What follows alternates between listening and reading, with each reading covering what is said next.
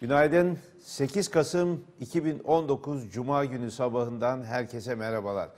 Zafer Arapkirli ile Seri Sabah programını KRT Televizyonu ve 96.6 Yön Radyo ortak yayınında izliyorsunuz. Hepinize mutlu bir gün dileyerek söze başlamak istiyoruz. Saat 10'a kadar buradayız. 2 saat süreyle Seri Sabah'ta her sabah olduğu gibi sizleri olup bitenden haberdar edeceğiz. Türkiye'nin dünyanın gündeminde neler var neler yok onları bir gözden geçireceğiz. Ve onları aktardıktan sonra bazı başlıkların üzerinde Bunları yorumlamaya çalışacağız, analiz etmeye çalışacağız. Yine her sabah olduğu gibi gazetelerimizi hep birlikte okuyacağız. Gelen bütün gazetelerde başlık, manşet, spot ve fotoğraflarla gündem nasıl değerlendirilmiş ona birlikte bakacağız. Ve ikinci bir saatlik bölümde de bu kez gazetelerin birinci sayfalarından yorum sütunlarına geçeceğiz ve köşe yazarları gündemi nasıl değerlendirmişler onları sizlere aktaracağız, sizlerle paylaşacağız. Ama önce gelin yol durumunu, hava durumunu ve günün öne çıkan başlıklarını sevgili Ebru Birçak'tan dinleyelim.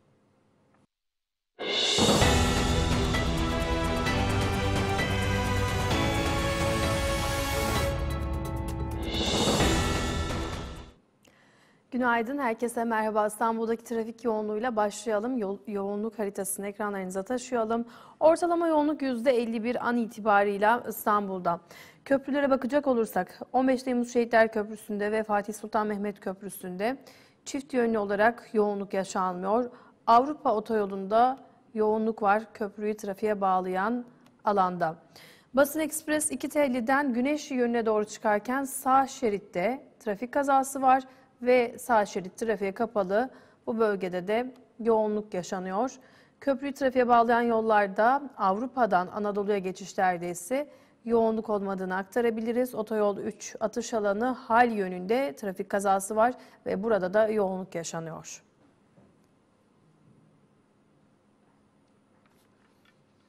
Peki bugün hava nasıl olacak? Son iki gündür olduğu gibi yağış beklenmiyor ve sıcaklıklar mevsim normallerinin üzerinde. Meteoroloji Genel Müdürlüğü tarafından yapılan son değerlendirmelere göre ülkemiz genelinde yağış beklenmiyor. Ülkemizin kuzeybatı kesimlerinin parçalı bulutlu, diğer yerlerin az bulutlu ve açık geçeceği tahmin ediliyor. Bu sabah ve gece saatlerinde Marmara, İç Ege, Batı ve Orta Karadeniz'in iç kesimleriyle İç Anadolu'nun kuzeyinde yer yer pus ve sis bekleniyor. Hava sıcaklığında önemli bir değişiklik olmayacak. Sıcaklığın ülkemiz genelinde mevsim normallerinin 4 ila 8 derece üzerinde seyredeceği tahmin ediliyor.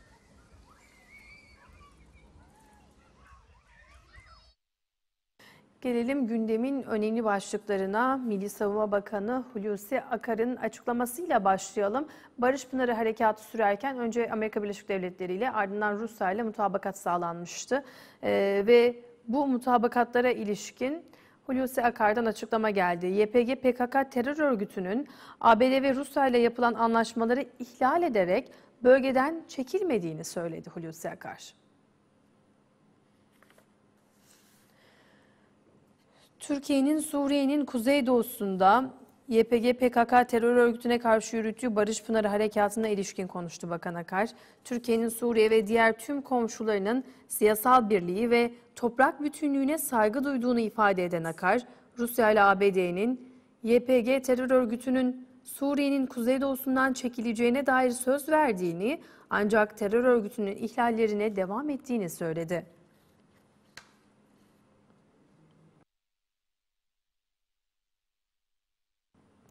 Diyarbakır'da kırmızı listede yer alan iki terörist etkisiz hale getirildi. Etkisiz hale getirilen teröristlerin başına 4'er milyon lira koyulmuştu.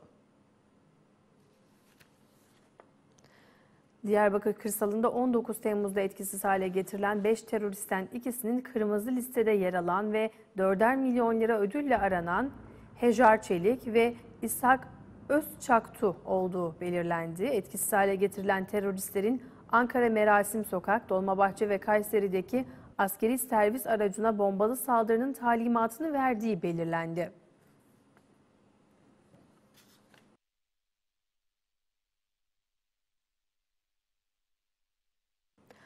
ABD Savunma Bakanlığı Pentagon, Suriye'nin kuzeyindeki petrol yataklarından elde edilecek gelirin Demokratik Suriye güçlerine gönderileceğini açıkladı.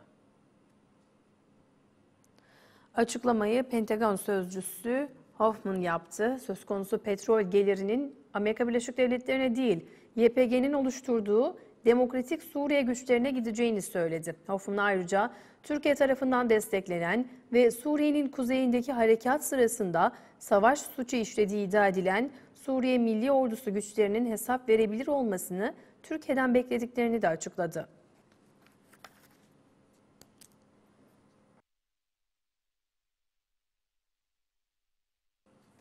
Ve siyasetin önemli başlıklarından birisi KHK faciadır sözleri. Bülent Arınç bu açıklamaları yapmıştı ve ardından Cumhurbaşkanı Erdoğan Bülent Arınç'ı e, eleştirmişti bu açıklamaları sebebiyle esefle karşıladım demişti. Bunun üzerine Bülent Arınç'tan ilk kez açıklama geldi. Arınç Erdoğan'ı saygıyla karşılıyorum dedi. Sözlerinin çarpıtıldığını ima eden Arınç davalarından, FETÖ davalarından beraat eden isimlerin FETÖ yaftasından kurtulması gerektiğini söyledi. Kendisi de bir hukukçu olduğuna göre KHK'ya bir facia ifadesini kullanmasını ben esefle karşıladım. Sayın Cumhurbaşkanımızın beni eleştiren konuşmasını saygıyla karşılıyorum. Ne söyleyeceği merakla bekleniyordu. Gelen tepkileri biriktirip ilk kez konuştu. Cumhurbaşkanı Recep Tayyip Erdoğan'ın esefle karşılamasını saygıyla karşıladı. Hatta teşekkür lazım. etti. Sayın Cumhurbaşkanımız her türlü anlamaya müsait olan bu cümle üzerinde bir eleştiri yaptı ki ben bunun çok doğru olduğunu, çok yerinde olduğunu, bütün tartışmaları kesecek noktada olduğunu düşünüyorum. Kendisine teşekkür ediyorum. Cumhurbaşkanımızın üzerimizde çok büyük hakları vardır. O her zaman eleştirebilir. O her zaman bize önerilerde bulunabilir. Cumhurbaşkanlığı Yüksek İstişare Kurulu üyesi Bülent Arınç'ın KHK faciadır çıkışı çok konuşuldu. Hemen her kesimden tepkiler yükseldi. Cumhurbaşkanı Erdoğan ifadeyi esefle karşıladığını, şık bulmadığını söyledi. Tabii şık bir açıklama değil. Kabullenmekte bunu doğru değil. Bu açıklamadan birkaç saat sonra ikili YİK toplantısında bir araya geldi. Belli ki konu toplantıda masaya yatırılmıştı. Arınç sözlerinin çarpıtıldığını ima etti. KHK bir faciadır cümlesi var ama bunun önünde ve arkasında dinlenirse bunların yanlış uygulamalardan mağdur olanların çektiği ızdırabı anlatmak için kullandığım bir cümledir. Eğer böyle bu cümleyi salt, çıplak olarak alırsanız gerçekten yanlış bir cümledir. Yanlış anlamlara götürülebilecek bir cümledir. Bülent Arınç'ın damadı da KHK'lılar arasında. Fethullahçı terör örgütü üyeliğinden yargılanan Ekrem Yeter geçtiğimiz ay beraat etti. Arınç, beraat edenlerin terörist yaftasından kurtulması gerektiğini vurguladı. Olağanüstü hal çok doğru. Kanun hükmündeki kararnamelerde çok doğru. Ama bu örgütle irtibatı, iltisakı olup olmadığı araştırıldıktan sonra artık yargı kararıyla beraat etmiş olan insanların da üzerlerindeki bu terörist yaftasından kurtulmaları lazım. Parti kurma hazırlıklarını sürdüren eski Başbakan Ahmet Davutoğlu, Saadet Partisi lideri Temel Karamollaoğlu ile görüştü. Yeni partisinin kurulumu için yıl sonunu işaret etti Davutoğlu ve dikkat çeken mesajlar verdi. Eski Başbakan Ahmet Davutoğlu, Saadet Partisi lideri Temel Karamollaoğlu'na tebrik ziyaretinde bulundu. olağan kongremizden sonra tebrike geldiler. İstifa süreci sonrasında yeni bir siyasi hareketi inşa etme sürecine başladığımızı ifade etmiştim. Biz de kendisine bu konudaki gelişmelerle ilgili bilgi verdik. Lider ziyaretleri kapsamında Karamollaoğlu 10 Ekim tarihinde çalışma ofisinde ziyaret etmişti Davutoğlu'nu. İkili bir ay içinde ikinci kez bir araya geldi. Görüşme yaklaşık iki buçuk saat sürdü. İttifak ettiğimiz meselelerin, konuların çok fazla olduğunu gördük. Mutabakatta içinde olduğumuz konuların farklı düşündüğümüz konulardan çok daha fazla olduğu kanaatinde. AKP'den istifa eden Davutoğlu o defter kapandı dedi. Eski partisini işaret etti. Çalışmalarına hız verdi. Yeni partinin takvimini de paylaştı. AK Parti'den istifa etmekle birlikte o dosya kapandı. Ama Türkiye'ye duyduğumuz sevda ve dosya hiçbir zaman kapanmaz. Süzük e, çalışması ikinci olarak yürüyor. ve bir kurucular heyetini oluşturmak. Yıl sonuna kadar bu süreç tamamlanacak. Belki daha önce takvim e, işliyor. Yıl sonunda kalmaz büyük ihtimalle. Bir diğer yandan eski bakan Ali Babacan da yeni parti kurma hazırlığında. Davutoğlu'na da Babacan'la bir araya gelir misiniz diye soruldu. Cevapsa dikkat çekiciydi. Her şeyden önce dostuz ve bundan sonra da dost olmaya devam edeceğiz. İsterdik ki ve çok çaba sarf ettik ki e, beraber olunabilsin. Ama e, bizim cihetimizden herhangi bir engel görmememize rağmen bu mümkün olmadı. İleride ne olur onu zaman akışı gösterir. Hiç kimseye ne Sayın Babacan gibi dostumuz, arkadaşımız olan bir e, kardeşimize ne de herhangi birine Türkiye'de kapımız kapalı değil. Kurucusu olduğu İstanbul Şehir Üniversitesi'nin banka hesaplarına tedbir alınmasına da tepki gösterdi Davutoğlu. Siyasi bir mesele varsa biz buradayız çağrısında bulundu. Şu anda herhangi bir organik bağım yok. Benim kızım doğurdu. 16 kez reddedilmiş bir davayı 17. kez gündeme getirerek banka üzerinden mali bir kıskacı almaya kalkıştılar. Tam da Türkiye'de yeni bir siyasi arayış içine girildiği bir dönemde yapılmasını birilerine izah etmesi lazım. İddia edilen usulsüzlük ise kesinlikle bir iftiradır, alçakça bir e, atıftır ve daha önce örnekleri görülen bir yaklaşımdır. Siyasi bir hesap soracaksanız, siyasi bir bedel ödetmek istiyorsanız biz buradayız. Geçim sıkıntısının doğurduğu bir aile dramı ve ardından dört kardeşin hayattan kopuşu. Fatih'te yaşanan olaya ilişkin günlerdir gelen gelişmeleri sizlere aktarıyoruz. Olayla ilgili yeni bir gelişme daha var. E, Dört kardeşin hayatını kaybettiği günün ertesinde elektrikleri kesilmişti. İşte bu elektrik kesintisiyle ilgili bir gelişme yaşandı.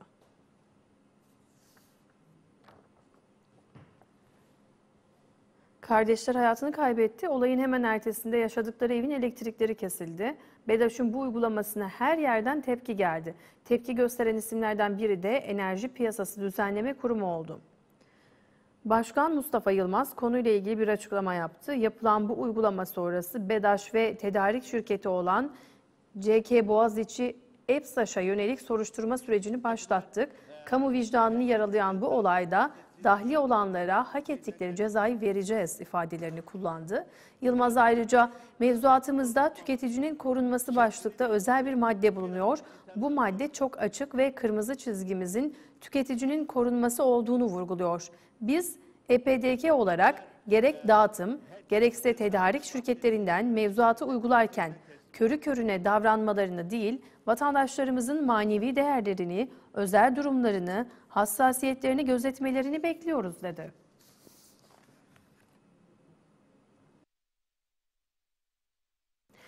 Eylül Mirzaoğlu 8 yaşındayken hayattan koptu minik Eylül. Okul bahçesinde oynarken yaşamını yitirdi. Eylül okul bahçesine giren servis aracının altında kaldı.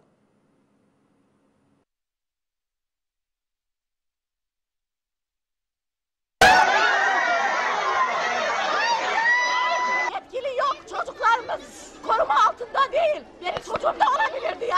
Başta her şey olması gerektiği gibiydi. Okul bahçesinde cıvıl cıvıl çocuk sesleri yankılanıyor. Minik Eylül de arkadaşıyla birlikte koşuyor. Sonra hiç olmaması gereken bir şey oldu. Servis aracı okul bahçesine girdi ve Eylül'ü hayattan kopardı. Kadar güvenlik için para toplanıyor bir şeyler yapıyorlar. Deri koltuk yaptırdık diye reklam yapıyor. İstanbul Avcılar'da Mehmetçik İlkokulu. Saat 12.45 sıralarıydı. İkinci sınıf öğrencisi 8 yaşındaki Eylül Mirzaoğlu arkadaşıyla birlikte okul bahçesinde oynuyor. O anlarda bahçeye Hüseyin Y yönetimindeki servis aracı girdi. Eylül servisi görmedi. Arkadaşı koşmaya devam ederken o bir an yere eğildi. Sonrası tam bir facia. Burada ne işi var bunun? Arabanın içeride ne işi var? Öğrenci dağılmaz. Yani en azından giriş çıkış saatlerinde e, çocuklarla aynı anda girmemesi lazımdı o servis şoförünün oraya. Okul servisinin altında kalan Eylül ağır yaralandı. Hemen ambulansla hastaneye kaldırıldı. Ancak hastanedeki tüm müdahaleye rağmen kurtarılamadı. Öğrencilerle servisin girdiği kapı aynı oldu. Bu sefer yani kaza kaçınılmaz oldu. Servis şoförü Hüseyin Y gözaltına alındı. Okulda eğitime bir gün ara verildi. Velilere göre olayda sadece servis şoförünün sorumluluğu yok. Servisin okul bahçesine girmesi de büyük tepki topladı. Öğrencilerle servis araçlarının aynı kapıyı kullandığı iddia edildi. Bu sabaha yansıyan gelişmeler böyleydi. Sözü Zafer Arapkirli'ye bırakıyoruz. Teşekkürler Ebru Birçak. Seyri Sabahı izliyorsunuz. Saatlerimiz 8.15'i gösteriyor. KRT Televizyonu Yön Radyo 96.6 ortak yayınındasınız. Günün önemli başlıklarını dinledik Ebru'dan. Öne çıkan bazı konulara da biraz daha fazla yakından bakmak, büyüteç tutmak istiyoruz. Şimdi Suriye meselesi biraz durulmuş gibi gözüküyor. En azından oradaki çatışma çatışmalar sona ermişti. İşte sağlanan iki mutabakatla Amerikalılarla sağlanan bir mutabakat vardı. Orada ateşin kesilmesi yani Türkiye'nin oraya başlattığı Barış Pınarı Harekatı'nın durdurulması üzerine oradan bölgeden PKK-YPG unsurlarının güvenli bölge olarak tanımlanan bölgenin dışına çıkarılması konusunda bir mutabakat sağlanmıştı. Ardından Soçi'ye gidildi Cumhurbaşkanı ve Rusya Federasyonu Başkanı orada bir ikinci mutabakat imzaladılar. Ona göre de güvenli bölgeyle ilgili yeni düzenlemeler yapılması kararlaştırıldı. Türk-Rus ortak devriyeleri, Rus-Suriye ordusu ortak devriyeleri şeklinde de hem sınır hattının güvenliğinin sağlanması hem de o 440 küsur e, kilometre eninde ve e, yaklaşık 30-35 kilometre derinliğindeki bölgede de e, bütün tarafların üzerinde mutabık kaldığı bazı düzenlemelere gidildi. Ama sahadan gelen haberler, çatışma bölgesinden gelen haberler zaman zaman ateşkesin bozulduğunu ve Türk Silahlı Kuvvetleri'ne yönelik saldırılar gerçekleştiğini bizlere duyuruyor. Yine oradaki terör örgütleri tarafından Türk Silahlı Kuvvetleri ile Suriye hükümet kuvvetlerini karşı karşıya getirmek amaçlı bazı kışkırtmalar olduğuna ilişkin e, endişeler uyandırıyor.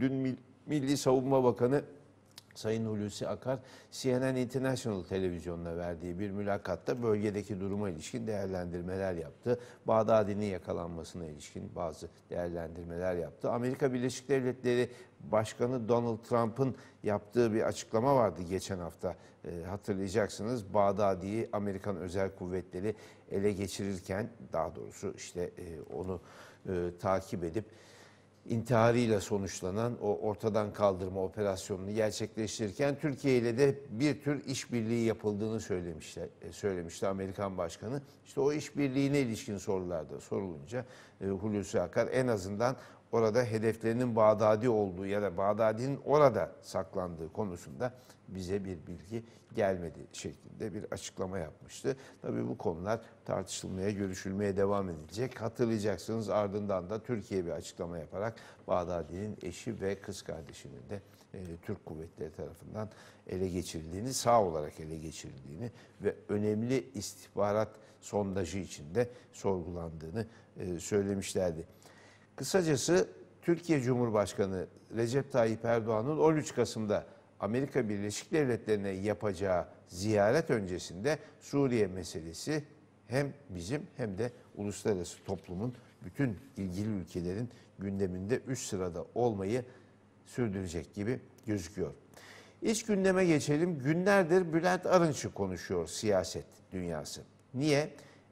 Eski Türkiye Büyük Millet Meclisi başkanlarından ve eski başbakan yardımcılarından, Adalet ve Kalkınma Partisi'nin kurucularından ve o siyasi hareketi yani AKP hareketinin ağır toplarından diyebileceğimiz Bülent Arınç ya da o camiada anıldığı adıyla Bülent abi tartışılmaya devam ediyor. Bülent Arınç zaman zaman çıkıp böyle işte bir gazeteciyi karşısına alıp ya da bir ajans muhabirine demeç verip tartışma yaratan, daha doğrusu gündem yaratan bir siyasetçi olarak biliniyor. Bu huyunu, bu özelliğini sürdürdü. Hangi konuda? KHK'lar konusunda. Yani 15 Temmuz darbe girişimi sonrasında çok sayıda kamu görevlisinin hatta yüzlerce, binlerce kamu görevlisinin e, görevine son verilmesi ve onlar hakkında soruşturma açılması kimilerine göre hayatlarının söndürülmesi, süründürülmesi vesaire gibi bir süreçten söz ediyor Bülent Arınç ve bu süreci bir facia olarak nitelemişti geçtiğimiz günlerde gazeteci Kemal Öztürk'e ki Kemal Öztürk de kim?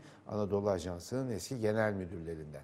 Kemal Öztürk Anadolu Ajansı Genel Müdürlüğü yaptığı sırada da Bülent Arınç'a bağlıydı Anadolu Ajansı, TRT vesaire onu da hatırlayalım. Kemal Öztürk de bir e, süre önce işte o e, İkbal e, çerçevesinden ya da o mahfillerden biraz e, dışarıya atılmış. Şimdi biraz daha o çeperin dışında görev yapan ama Neticede hükümet yandaşı olarak bilinen bir gazeteci.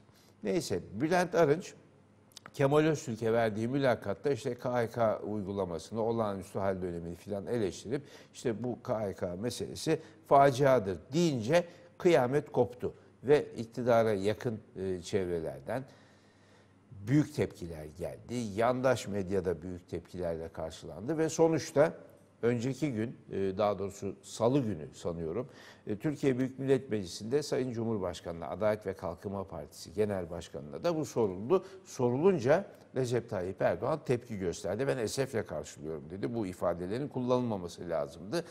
Nitekim bugün de e, Yüksek İstişare Kurulu'nda, Cumhurbaşkanlığı Yüksek İstişare Kurulu'nda bunları görüşeceğiz. Kendisine de soracağız mealinde bir laf sarf etti. Yüksek İstişare Kurulu ne? Cumhurbaşkanlığı bünyesinde sarayda oluşturulan bazı kurullar var. O kurullardan birinin adı. O kurulda kimler var? Genellikle eski Türkiye Büyük Millet Meclisi başkanları işte aralarında İsmail Kahraman'ın da bulunduğu, Cemil Çiçek'in bulunduğu, Yıldırım Akbulut'un bulunduğu, Bülent Arınç'ın bulunduğu e, eski e, Türkiye Büyük Millet Meclisi başkanları. O kurulda bu meselenin ele alındığı ve Bülent Arınç'ın da bir şekilde hani sen ne söylüyorsun şeklinde uyarıldığı anlaşılıyor. Ardından Bülent Arınç dün bir ajansa açıklamalarda bulundu. Yanlış anlaşıldım dedi. Sayın Cumhurbaşkanı'nın sözlerini e, saygıyla karşılıyorum dedi. Hani Erdoğan esefle karşılıyorum demişti ya Bülent Arınç da ben sözlerini saygıyla karşılıyorum. Ama dedi hani sözlerim de bağlam dışına çıkartıldı. Uzunca bir demeç var, başı çıkartılmış, sonu çıkartılmış, ortasından sadece bir bölümü alınarak değerlendirme yapılıyor. Yani bana da haksızlık yapılıyor demeye getirdi. Bülent Arınç bununla da kalmadı. Dün akşam Habertürk Televizyonu'nun programına telefonla canlı yayında bağlanarak uzun açıklamalar yaptı ve tartışmalara girdi.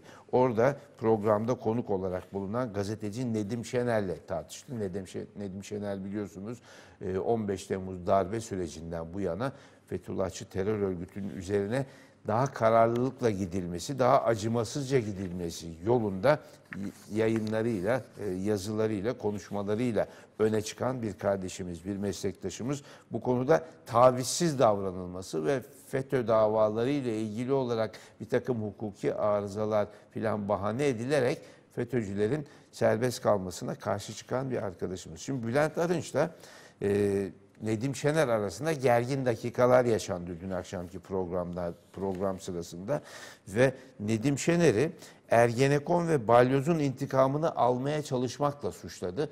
Bülent Arınç hatırlayacaksınız o dönemdeki soruşturmalar sırasında Nedim Şener ve gazeteci Ahmet Şık birlikte tutuklanmışlardı. Ee, bir süre e, cezaevinde kalmışlardı. Ee, böyle bir mağduriyetleri vardı onların. Dolayısıyla Bülent Arınç Nedim Şener'in ondan kaynaklanan bir şekilde kendisine e, taarruz ettiğini ya da hücum ettiğini öne sürdü. Orada e, Cumhuriyet Halk Partili e, milletvekili Aytuğ Bey'in beyinde e, bazı açıklamaları vardı. Orada Nedim Şener'le Aytuğ Bey de bir tartışmaya giriyorlar.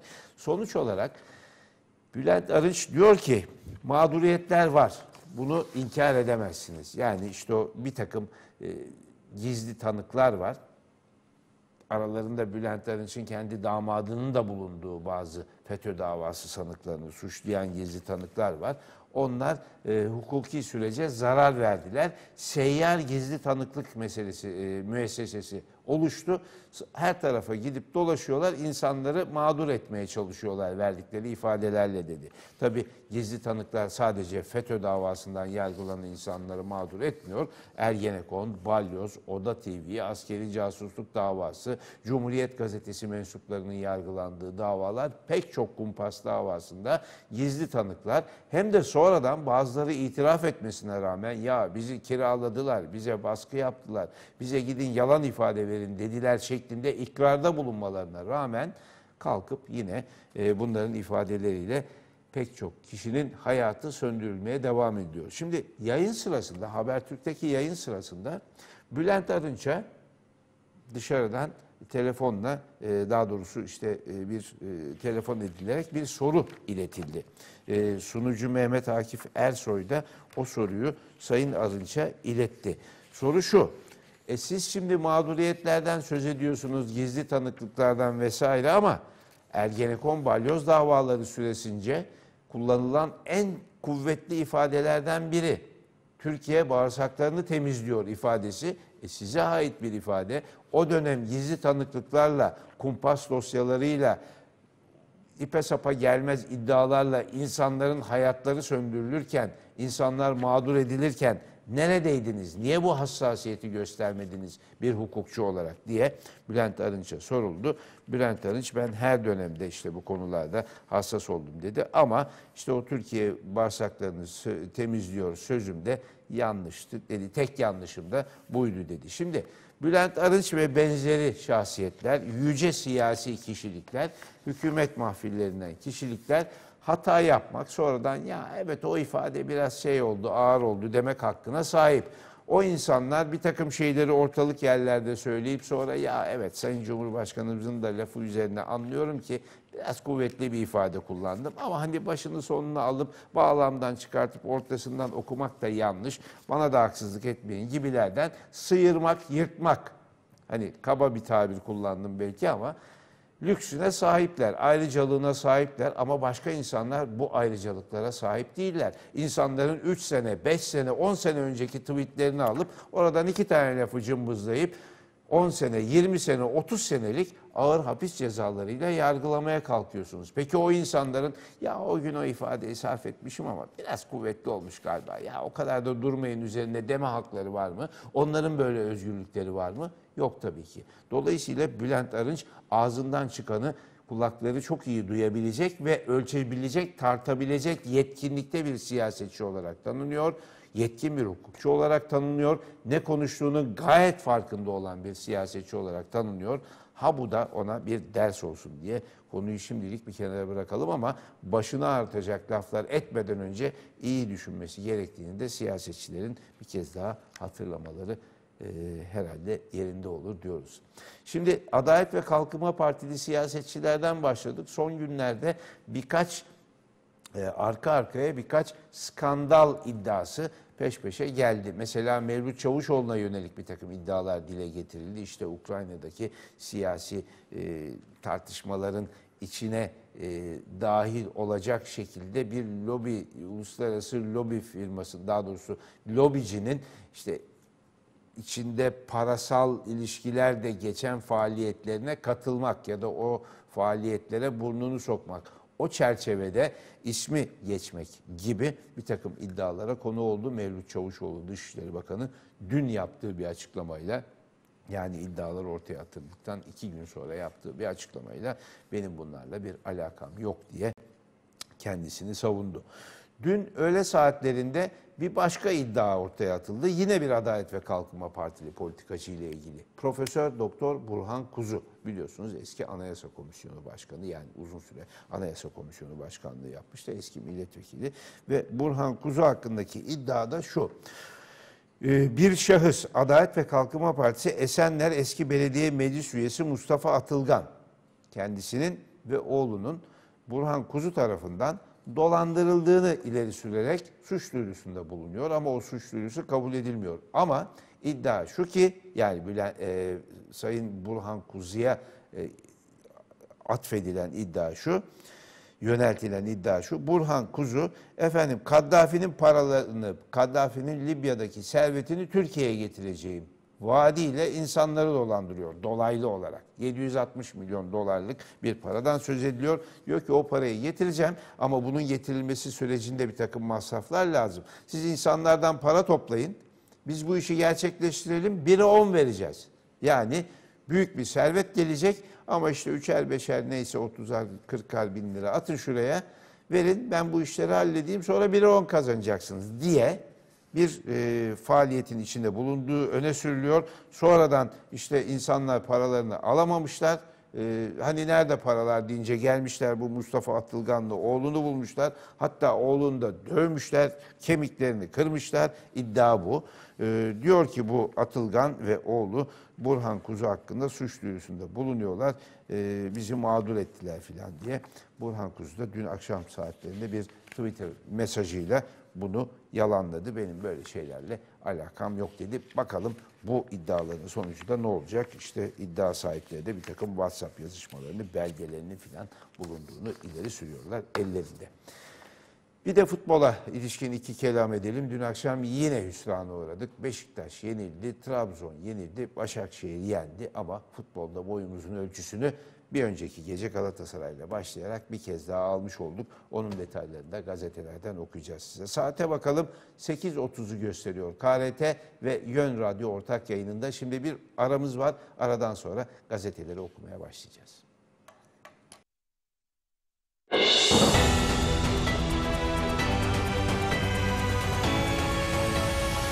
ekranından ve Yön Radyo'dan tekrar merhabalar. Saatler 8.35'i gösteriyor.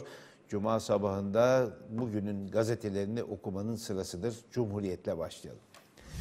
Toplumsal karabasan manşetini atmış Cumhuriyet gazetesi bugün birinci sayfasında. Eğitim ve ekonomideki çöküş Türkiye'yi içten içe yakıyor ifadesi kullanılmış üst başlıkta. Olayları hatırlatıyor tek tek işte bunları toplumsal karabasan ortak başlığında toplamış Cumhuriyet.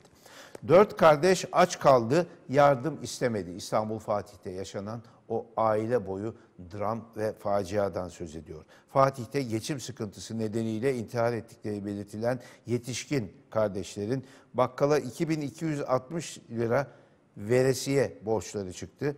Oya ve Kamuran Yetişkin'in arkadaşı Serpil Alkan yeşil kartı bile kabul etmediklerini anlattı. Cumhuriyet Halk Partisi yöneticileri bu Türkiye'nin utancı dediler. Toplu intiharlar çoğunlukla yaşamlarında kendisini sıkışmış hisseden bireylerin oluşturduğu gruplarda meydana geliyor. Fatih'teki olay da bunun bir örneği gibi görünüyor. Psikolojik otopsi yapılması gerekiyor diye yazmış Mustafa Kemal Erdemol Cumhuriyet Gazetesi yazarlarından. Bu olayı daha önce Türkiye'de ve dünyada gerçekleşmiş benzer toplu intihar olaylarıyla karşılaştırıyor Mustafa Kemal kardeşimiz. Diyanet ve dernek kursları tam gaz diye bir alt başlık daha var. Bütün enerjisini dindar nesil için harcayan iktidar çocukların geleceğini karartıyor demiş Cumhuriyet Gazetesi'ndeki haberde Figen Atalay. Cumhuriyet'in eğitim haberleri editörü. Eğitim reformu girişiminin raporuna göre Diyanet'in 4 ila 6 yaş arası kursları ile vakıf ve derneklerce açılan kurumlar hızla arttı. Ayrımcılık çocukları eğitimden uzaklaştırdı. 15-17 yaşta çalışan erkek çocuk oranı %25.7'ye çıktı. Dehşet verici bir sayı. 15-17 yaş arası erkek çocukların %25.7'si yaklaşık %26'sı çalışmak zorunda kalıyor. Yani 15-17 yaş işte lise talebesi olması lazım bu çocukların ama çalışmak zorunda kalıyorlar. Ondan sonra Hazine ve Maliye Bakanı'nın ben bir e, açıklamasını gördüm. Gelirlerimiz her bir e, ferdin geliri 3 kat arttı diyor. E 1876'ya göre evet 3 kat artmış olabilir ya da işte daha iyimser bir tahminle 1952 seviyelerinin 3 kat üzerinde olabilir ama ne zaman arttı? Kim daha refah yaşıyor? Yani evet refah yaşayanlar var da bunlar nerede yaşıyor? Hangi yalıda, hangi konakta, hangi villada yaşıyor? Tabii onları kendisi bilir ama biz öyle insanlar tanımıyoruz. Bizim tanıdığımız insanlar üst kattaki, karşı dairedeki, öteki sokaktaki yoksullukla baş etmeye çalışan, faturalarını ödemekte zorlanan, kredi kartı borçları için uykuları kaçan, kimi zaman bu intihar eden ailede olduğu gibi hala 1950'lerdeki, 60'lardaki, 70'lerdeki geleneği hortlatarak yaşatıp bakkala veresiye defterine borç yazdıran insanlar, Hazine ve Maliye Bakanı'nın gelirleri 3 kat arttı dediği insanlar bizim gezegenimizde mi yaşıyor? Ben öyle bir gezegende yaşamıyorum onu açıkça söyleyeyim. Bakan da icralık şeklinde bir başlık Cumhuriyet Gazetesi'nde. Pakdemirli'nin Torbalı'daki aile şirketine haciz geldiği ortaya çıkmış. Ürünlü de değerinden satamadığı için borçlarını ödeyemeyen birçok çiftçi ve üreticinin uğradığı icra ve haciz işlemine Tarım ve Orman Bakanı Bekir Pakdemirli'nin aile şirketi de eklenmiş. Cumhuriyet Halk Partisi Milletvekili Sevda Erdan Kılıç, Türdeş Tarım'ın Torbalı'daki zeytinyağı fabrikasına icra geldiğini belirtmiş. Cumhuriyet'in birinci sayfasında büyükçe bir fotoğrafla Pakize Akbaba hanımefendi ya da Pakize Ana olarak e, tanıdığımız şehit anası Pakize Hanım'ın e, bir fotoğrafı var. Daha doğrusu iki fotoğrafı var. Dünkü işte o yargılanacağı ama sonradan Cumhur- Cumhurbaşkanı'nın avukatları e, şeyi çektikleri için e, şikayet dilekçesini çektikleri için beraat eden Pakize Ana'nın mahkemeye geliş gidişte ve mahkeme öncesinde yaptığı açıklama sırasında işte o asker selamı verirken fotoğrafları var. Bir Gün Gazetesi. Onlar da Cumhuriyet gibi bir tema kullanmışlar birinci sayfa manşetinde. İşte eseriniz diyorlar ve ünlem işareti koymuşlar. Aksaray ve Fatih'te yaşananlar çürümeyi gösterdi diyorlar. Aksaray'da biliyorsunuz bir e, e, bir okulda özel eğitim için ayrı sınıfa e, ayrılan öğrencileri e, öteki veliler yuhalıyorlar.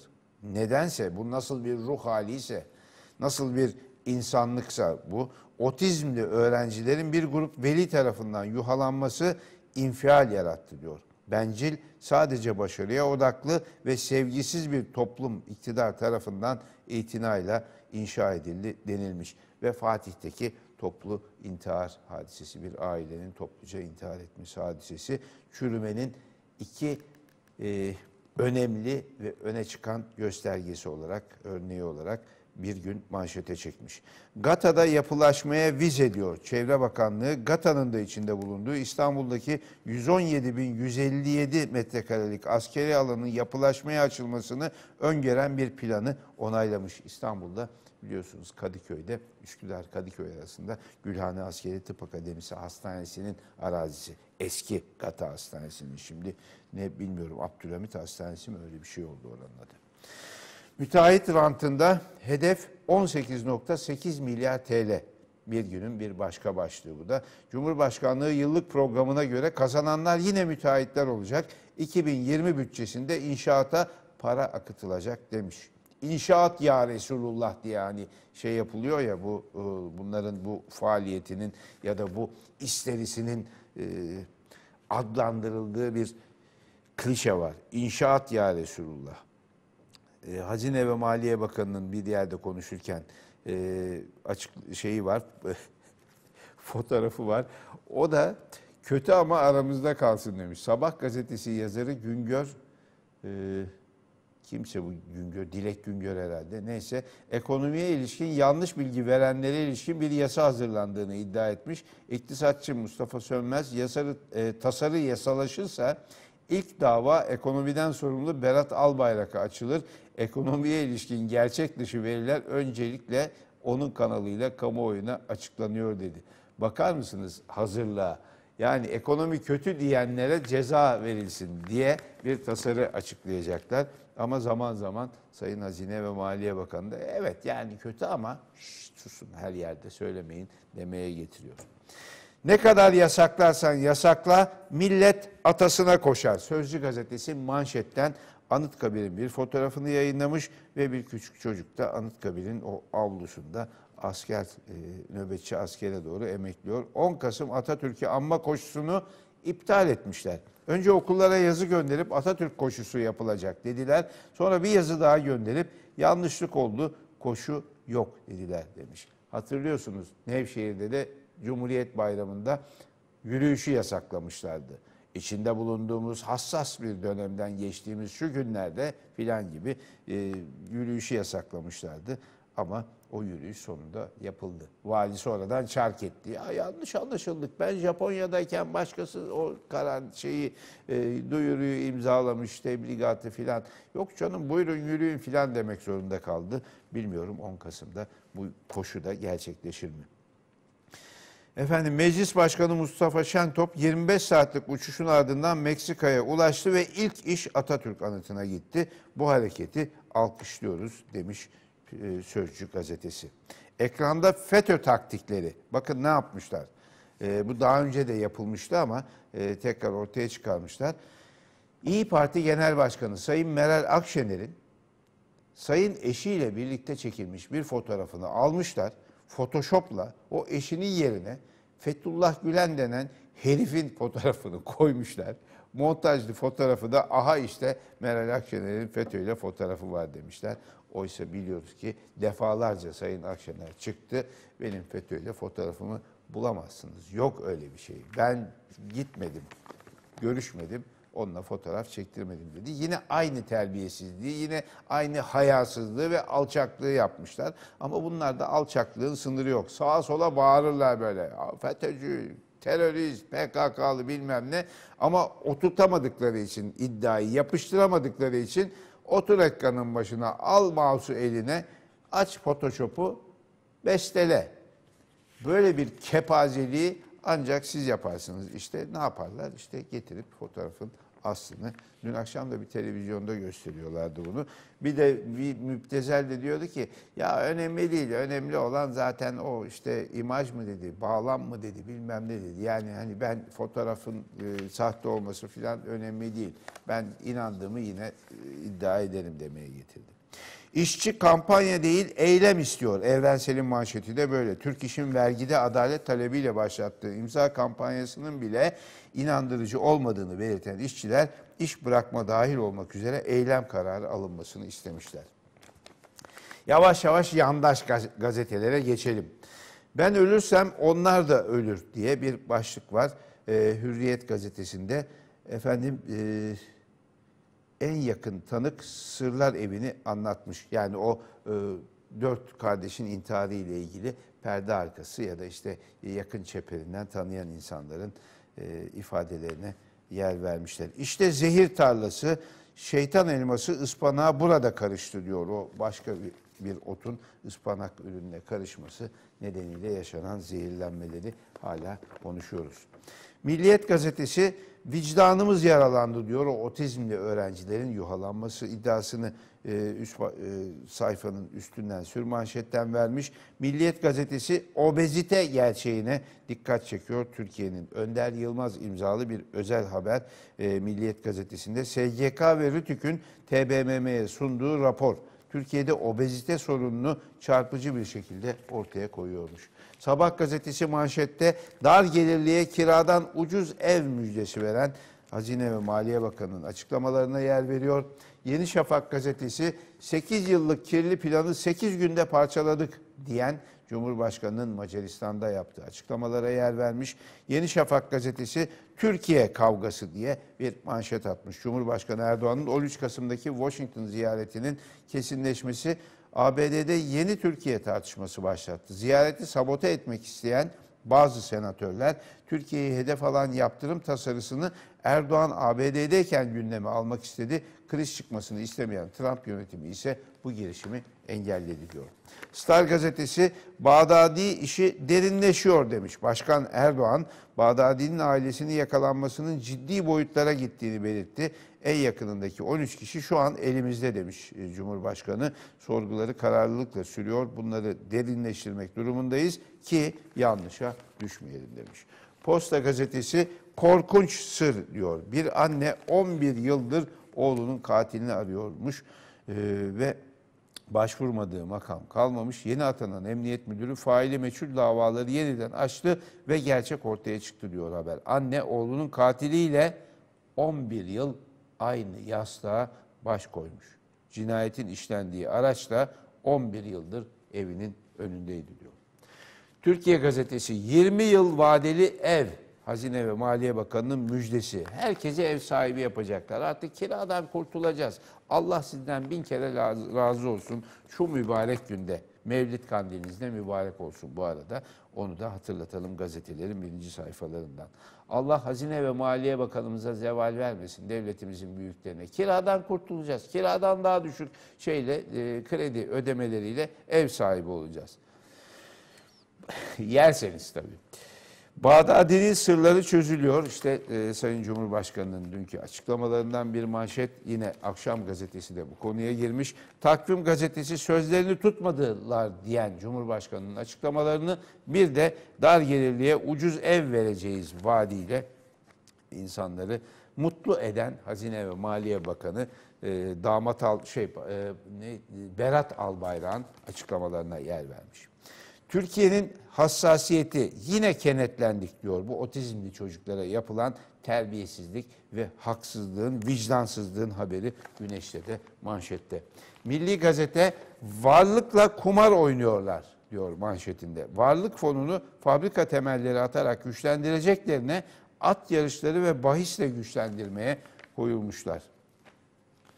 Yoksulluk artacak diye bir e, alarm niteliğinde başlık atmış Yeni Çağ gazetesi sürmanşette ve ABD, Rusya ve Suriye'den ikinci Kürdistan girişimi şeklinde bir manşeti var Yeni Çağ gazetesinin. Karar gazetesi yuh sizin insanlığınıza diyor o otizmli özel eğitim e, özel eğitim gören otizmli çocukların yuhalanması haberini manşetten görmüş. Milat gazetesi yeni utanç duvarından söz ediyor. Avrupa'dan mültecilere insanlık dışı bir skandal daha demiş. Türkiye milyonlarca mazluma kucak açarken Avrupa sığınmacılara insanlık dışı davranıyor. Avrupa'da mültecilere karşı örülen jiletli tel örgü ve duvarların uzunluğu Berlin duvarını 6 kat aştı demiş. Cezaevleri ıslah etmiyor diyor Yeni Asya gazetesi sürmanşet haberinde. Yeni Birlik gazetesi Bağdadi'nin 13 yakını elimizde diye o olayın detaylarını açıklayan Cumhurbaşkanı'nın açıklamalarına yer vermiş. Yeni Akit gazetesi terörün cesaret hapı Cumhuriyet Halk Partisi demiş. Cumhuriyet Halk Partisi ile teröristler arasında bir irtibat, bir iltisak iddialarını kim bilir kaçıncı defa yine üfürüyor, haber veriyor demeyeceğim. Çünkü üfürme bunun adı. Diriliş Postası gazetesi yıkılmaya mahkum duvarlar ördüler demiş. Onlar da işte 21. yüzyılda Avrupa'nın göbeğinde efendim kısıtlamanın anıtını diktiler diyor. Mültecilere kapısını kapayan Avrupa'yı kınıyor. Aydınlık gazetesi vatandaşlıktan atıp kurtulamazsınız diyor. Hani Avrupa ülkeleri kendi vatandaşı olan IŞİD'lileri vatandaşlıktan attık diye bizim kucağımıza terk ediyorlar ya ona değiniyor.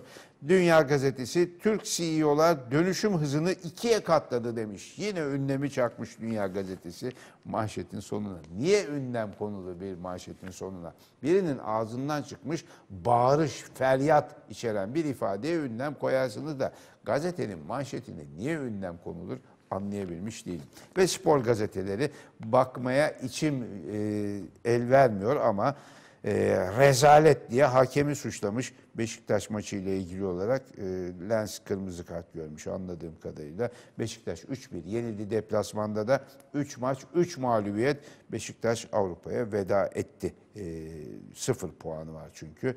E, Trabzonspor onlar da 3-1 yenilmişler. Buraya kadar diyor o da Avrupa'ya veda etti diyor ve Başakşehir gururla sunar. Tek gururumuz Başakşehir 3-0 yenmiş deplasmanda. Fanatik gazetesi çöküş Galatasaray'da sular durulmuyor demiş. Merak etmeyin bu hafta ligde galip gelir Galatasaray yine Fatih Hoca, büyük hoca filan olur.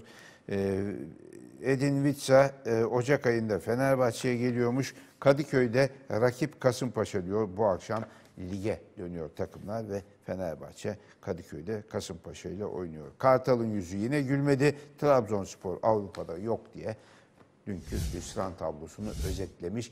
Kısa geçelim çünkü yüreğim sıkışmaya başladı bu Beşiktaş'ın, bu Trabzon'un, bu Galatasaray'ın aldığı sonuçlar nedeniyle. Saatimize bakalım 8.53'ü gösteriyor. Yön Radyo ve KRT Televizyonu ortak yayınında Seyri Sabahı dinliyorsunuz, izliyorsunuz. Şimdi bir ara saat başında devam edeceğiz.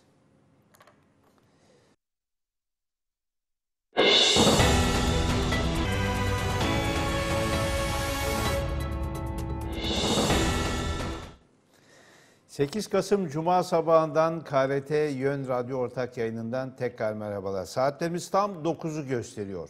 Seyri Sabah'a devam ediyoruz. Günün önemli başlıkları İstanbul'da yol durumu ve hava durumuyla söz tekrar Ebru Bilçak'ta.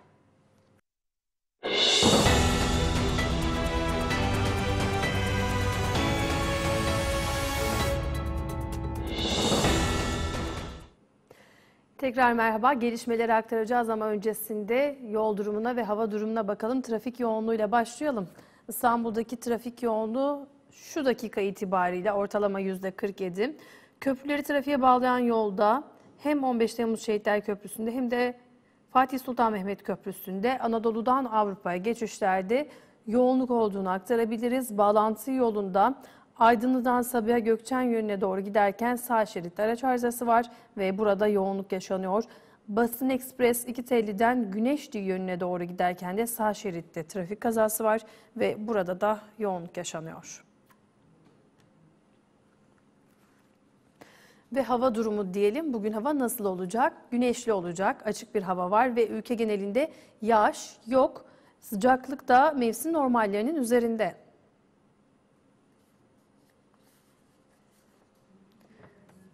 Meteoroloji Genel Müdürlüğü tarafından yapılan son değerlendirmelere göre ülkemiz genelinde yağış beklenmiyor. Ülkemizin kuzeybatı kesimlerinin parçalı bulutlu, diğer yerlerin az bulutlu ve açık geçeceği tahmin ediliyor.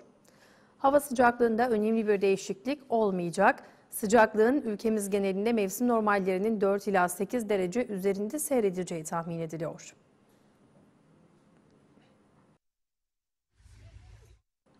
Ve gelişmeler diyelim Milli Savunma Bakanı Hulusi Akar'ın açıklamalarıyla başlayacağız. Akar, YPG PKK terör örgütünün ABD ve Rusya ile yapılan anlaşmaları ihlal ederek bölgeden çekilmediğini söyledi.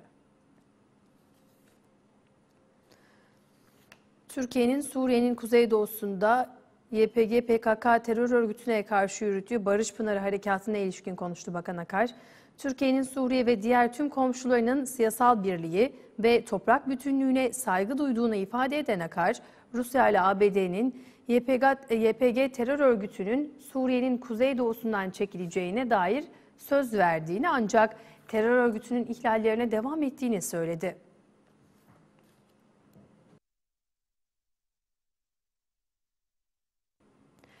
HDP'li Van İpek Yolu Belediye Başkanı Azim Yacan ve meclis üyesi Şehzade Kurt, örgüt üyeliği ve terör propagandası yapma suçlamasıyla gözaltına alındı.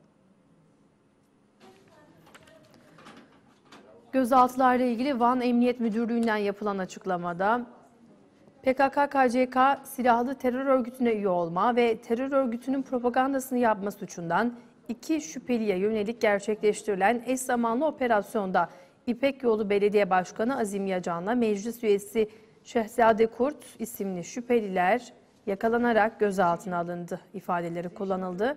Açıklamanın devamında gözaltına alınan şüphelilerin üst ve ikamet aramasında çok sayıda dijital materyal ve örgütsel dokümanlar ele geçirildi denildi.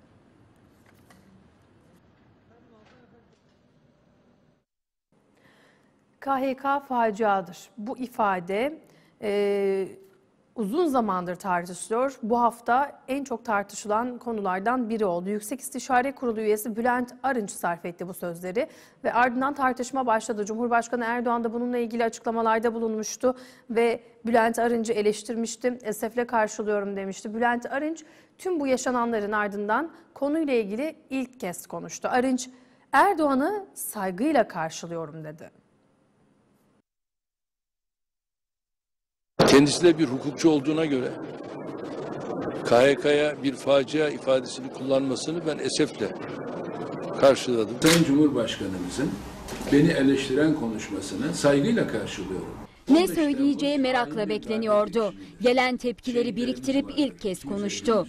Cumhurbaşkanı Recep Tayyip Erdoğan'ın esefle karşılamasını saygıyla karşıladı. Hatta teşekkür etti. Sayın Cumhurbaşkanımız her türlü anlamaya müsait olan bu cümle üzerinde bir eleştiri yaptı ki ben bunun çok doğru olduğunu, çok yerinde olduğunu, bütün tartışmaları kesecek noktada olduğunu düşünüyorum. Kendisine teşekkür ediyorum. Cumhurbaşkanımızın üzerimizde çok büyük hakları vardır. O her zaman eleştirebilir. O her zaman bize önerilerde bulunabilir. Cumhurbaşkanlığı Yüksek İstişare Kurulu üyesi Bülent Arınç'ın KHK faciadır çıkışı çok konuşuldu. Hemen her kesimden tepkiler yükseldi. Cumhurbaşkanı Erdoğan ifadeyi esefle karşıladığını, şık bulmadığını söyledi. Tabii şık bir açıklama değil. Kabullenmekte bunu doğru değil. Bu açıklamadan birkaç saat sonra ikili YİK toplantısında bir araya geldi. Belli ki konu toplantıda masaya yatırılmıştı. Arınç sözlerinin çarpıtıldığını ima etti. KHK bir faciadır cümlesi var ama bunun önünde ve arkasında dinlenirse bunların yanlış uygulamalardan mağdur olanların çektiği ızdırabı anlatmak için kullandığım bir cümledir. Eğer böyle bu cümleyi salt, çıplak olarak alırsanız gerçekten yanlış bir cümledir. Yanlış anlamlara götürülebilecek bir cümledir. Bülent Arınç'ın damadı da KHK'lılar arasında. Fethullahçı terör örgütü üyeliğinden yargılanan Ekrem Yeter geçtiğimiz ay beraat etti. Arınç, beraat edenlerin terörist yaftasından kurtulması gerektiğini vurguladı. Olağanüstü hal çok doğru. Kanun hükmündeki kararnamelerde çok doğru. Ama bu örgütle irtibatı, iltisakı olup olmadığı araştırıldıktan sonra artık yargı kararıyla beraat etmiş olan insanların da üzerlerindeki bu terörist yaftasından kurtulmaları lazım. Eski Esenler Belediyesi Meclis Üyesi AKP'li Mustafa Atılgan ve oğlu Salih Atılgan, AKP'li Burhan Kuzu hakkında nitelikli dolandırıcılık iddiasıyla suç duyurusunda bulundu. Burhan Kuzu iddiaları yalanladı. Mustafa Atılgan Atılgan isimli şahıs konumunu kullanarak ve şantaj yaparak benden para almak istedi. Buna müsaade etmedim. Olay anlattığı gibi değildir dedi. Sosyal medya paylaşımlarıyla sık sık konuşulan AKP'li Burhan Kuzu bu kez de nitelikli dolandırıcılık iddiasıyla gündeme geldi. Eski Esenler Belediye Meclis Üyesi AKP'li Mustafa Atılgan ve oğlu Salih Atılgan, AKP'li Burhan Kuzu hakkında nitelikli dolandırıcılık iddiasıyla suç duyurusunda bulundu. Kuzu iddiaları yalanladı. Atılgan'ın oğlu Salih Atılgan'ın imzasını taşıyan dilekçede Burhan Kuzu'nun Libya'nın devrik lideri Muammer Kaddafi'nin altınlarını Türkiye'ye getirme iddiasıyla 1'e 10 kat geri ödeme yapılmak üzere para topladığı, bu paraların Salih Atılgan'ın hesabı üzerinden dövize çevrilerek yurt dışına aktarıldığı öne sürüldü. Dilekçede savunulan iddiaya göre Kuzu vaat edilen ödemelerin yapılmaması üzerine paralarını isteyen kişilere kimsenin kendisinden bir şey talep edemeyeceği, kendisi adına kayıt olmadığı şeklinde yanıt verdi. Bunun üzerine alacaklılar Salih Atılgan'a yöneldi. Salih Atılgan, İstanbul Cumhuriyet Başsavcılığına yaptığı başvuruda Burhan Kuzu'nun ortağı olduğu belirtilen Nurullah Han Buhari, Burhan Kuzu, Osman Ünal ve Rasim Türkmen hakkında nitelikli dolandırıcılık iddiasıyla suç duyurusunda bulundu. Konuya ilişkin açıklama yapan AKP'li Burhan Kuzu ise iddiaları sosyal medya hesabı üzerinden reddetti. Mustafa Atılgan isimli şahıs konumumu kullanarak ve şantaj yaparak benden para almak istedi. Buna müsaade etmedim. Olay anlattığı gibi değildir. Savcılar suç duyurusunda bulunmuş ancak dava açılması uygun görülmemiştir dedi. Batacak. Avrupa Birliği yürümez. Yürümeyecek. Eylül Mirzaoğlu ölüm 8 yaşındaki Eylül'ü okul bahçesinde buldu. Servis aracının altında kaldı okul bahçesinde minik Eylül ve velilerin söylediğine göre ölüm göz göre göre geldi.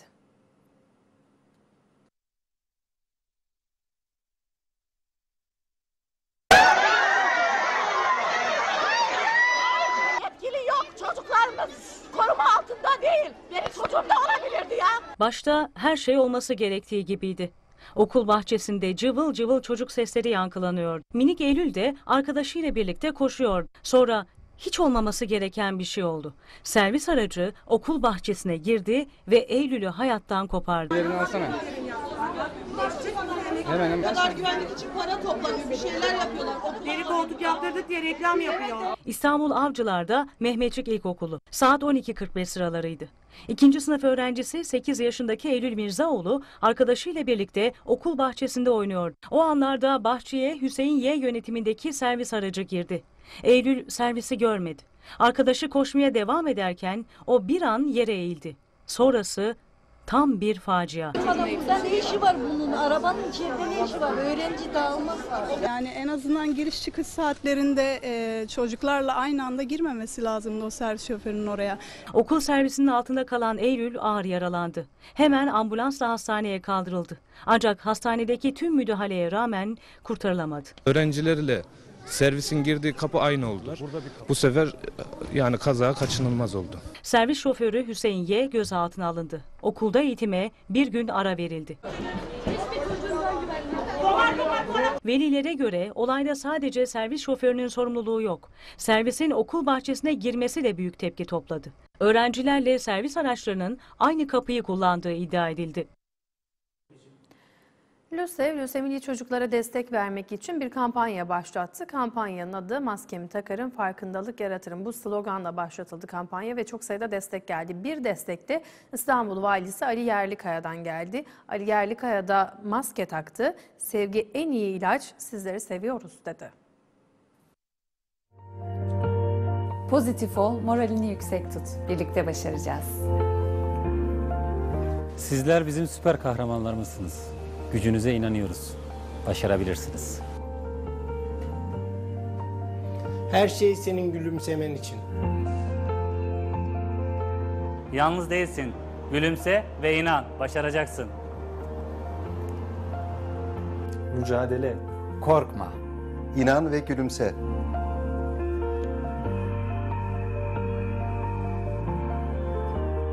Gülümse ve güçlü ol. Umutla iyileşeceksin.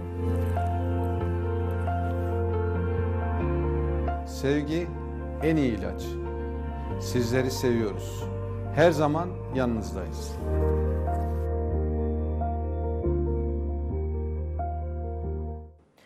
Dün sabah Diyanet İşleri Başkanlığı'nın paylaştığı bir videoyu ekranlarınıza taşımıştık. Burada telefon bağımlılığından bahsediliyordu ancak ailede kadının konumlandırılış biçimi tepkilere sebep olmuştu. Diyanet bir video daha paylaştı ve bu videoda da yine cinsiyetçilik eleştirisi aldı. Bir tanem. Davette çektiğin fotoğrafları paylaşınca takipçi sayım iki katına çıktı. Diyanet İşleri Başkanlığı Mevlid-i Nebi yani Kutlu Doğum Haftası kapsamında yayınladığı videoların içerdiği mesajlar nedeniyle gündem olmaya devam ediyor. Kızım nereye kayboldun? Aa benimkiler de kaçmış. Kızım. Diyanet'in telefonun değil eşinin yüzüne bak başlıklı ilk videosunda kadının eşine çay ve kek getirmesi tepkilere neden olmuştu. O tepkiler sonrasında Diyanet'ten bir başka paylaşım daha geldi. Yayınlanan ikinci videoda fenomen değil, iyi ebeveyn ol başlığıyla teknoloji bağımlılığı eleştirildi. Fenomen olmak kolay mı? Kolay değil tabii. Kızım nereye kayboldun? Aa benimkiler de kaçmış. Kızım. Sanal hayatta takipçilerin artarken gerçek hayatta azalmasın. Fenomen olma. İyi ebeveyn ol. Ancak sadece kadınların çocuk bakan, çocuklardan sorumlu olan olarak gösterilmesi yine tepki topladı. Gelişmeleri aktardık. Sözü Zafer Alpkirli'ye bırakıyoruz. Teşekkürler Ebru Bilçak. Saatlerimiz 9.14'ü gösteriyor. KRT Televizyonu Yön Radyo 96.6 ortak yayınında Seyir Sabahı izliyorsunuz, dinliyorsunuz. Sırada Ankara'nın gündemi var. KRT Ankara Bürosu'na bağlanıyoruz ve arkadaşımız Bala Ateş karşımızda. Bala Ateş günaydın, iyi sabahlar. Ankara'nın gündemindeki ayrıntıları sizden alalım lütfen. Günaydın Zafer Arapkirli. Öncelikle bugün e, Türk Silahlı Kuvvetleri ile Rus askerlerinin 3. ortak kara devriyesini gerçekleştirmesini bekliyoruz. İlki e, Resulayn ve Kamışlı arasındaki bir bölgede gerçekleşmişti. İkincisi ise Aynel Arap'la Tel Abyad bölgesi arasındaydı ve e, İHA'ların insansız hava araçlarının iştirakiyle gerçekleşmişti. Bugün de 3. ortak kara devriyesinin gerçekleşmesi planlanıyor. Milli Savunma Bakanlığı yetkilileri de bu devriyenin yaklaşık 5-6 saat civarında süreceğini ifade ettiler ve devriyeler de bu şekilde devam ediyor. Bir diğer yandan Cumhurbaşkanı Erdoğan ABD Başkanı Donald Trump 13 Kasım'da bir araya gelecek sizin de bildiğiniz gibi ve e, Cumhurbaşkanı Erdoğan dün Macaristan'daydı. Macaristan dönüşü ise e, ABD'ye gideceğini Trump'la yaptığı telefon görüşmesinden sonra karar verdiğini ifade etti. O telefon görüşmesi kritikti ve sonrasında Trump'la görüşme kararı verdi ve Cumhurbaşkanı Erdoğan S-400 ve F-35 gibi hava savunma sistemi ile ilgili konularında masada yer alacağını belirtti. Bir diğer yandan da Milli Savunma Bakanı Hulusi Akar e, anlaşmaların ihlal edildiğini ve teröristlerin hala bölgeden çekilmediğini ifade etti. Bu ifadeyi de ilk olarak Cumhurbaşkanı Erdoğan salı günkü grup toplantısında söylemişti ve bu noktada da bu konularda teröristlerin bölgeden çekilmemesi de masadaki önemli başlıklardan bir tanesi olacak. Ee, aynı zamanda bir dikkat çeken açıklama da vardı. Pentagon'dan geldi.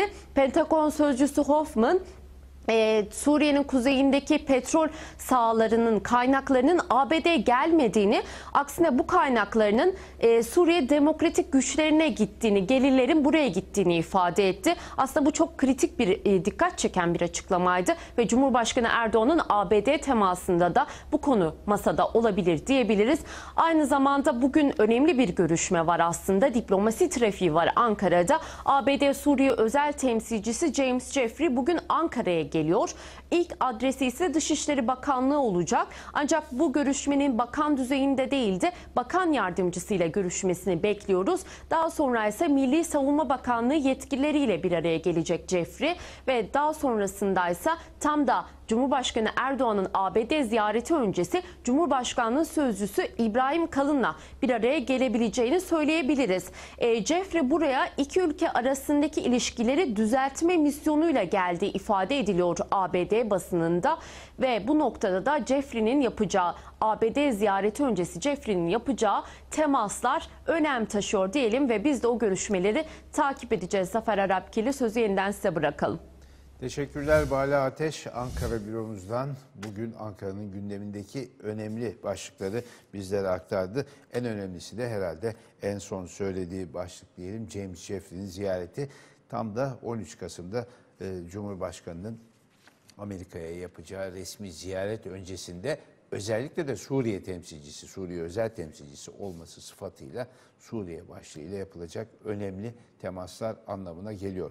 Saatimiz 9.18'i gösteriyor. Seyir Sabah'ta artık köşe yazarlarını okuma zamanıdır. Gazetelerin kalem erbabı neler yazmış bakalım. Gündemi nasıl değerlendirmiş gazetelerin yorum sayfalarına geçelim.